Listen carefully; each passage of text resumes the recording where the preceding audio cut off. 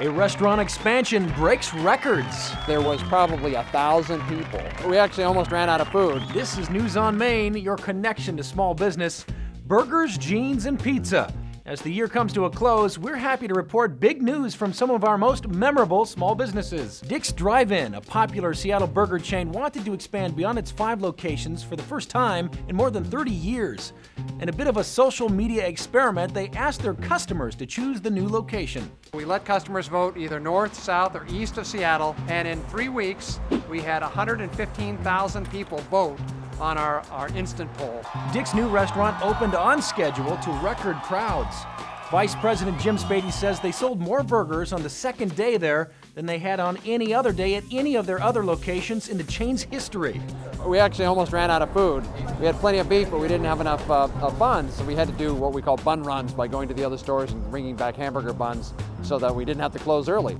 Back in the fall, we introduced you to entrepreneur Tanya Shaw and her My Best Fit machine that uses 3D body imaging to match women with the right name brand jeans. They can shop in a broad spectrum in terms of show me all the jeans that fit me in the small, or they can be very specific that I'm looking for low rise, dark wash, and I don't want to pay more than $100.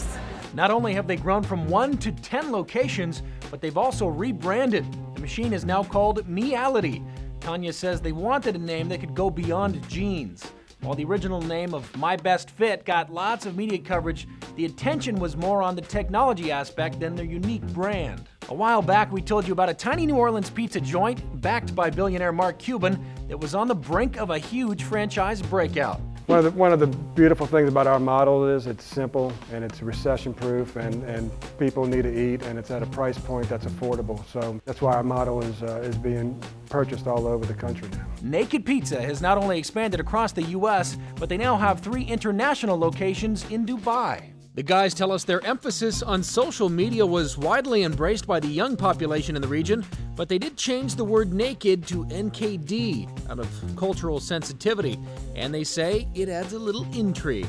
Naked Pizza will be opening soon in Chicago, Sydney, and Beirut, just to name a few.